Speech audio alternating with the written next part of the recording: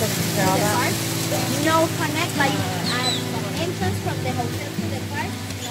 No,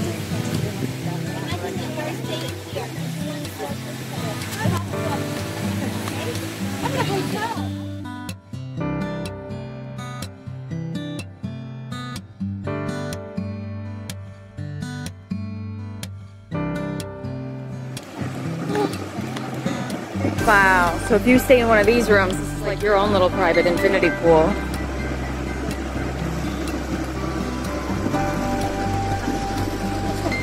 And there's a river on that side. Oh, this is so beautiful.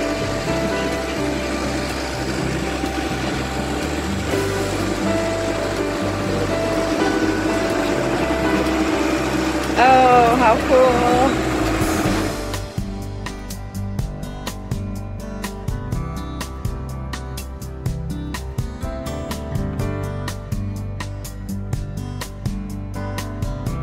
So this is one of the rooms at Hotel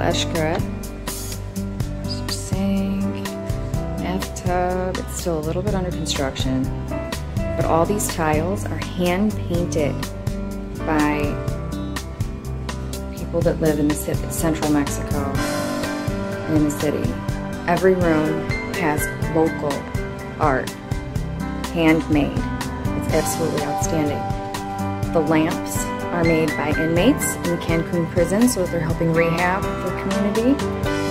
This pillow takes three months to make each one because it's made by little women in villages. That is handmade.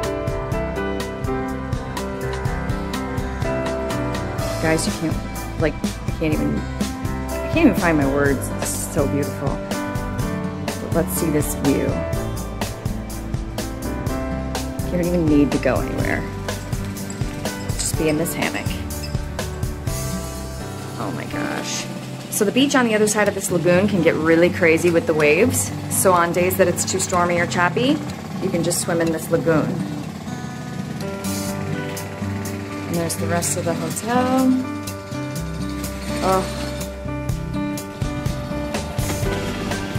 Amazing opening in December 1st, 2017. Woohoo!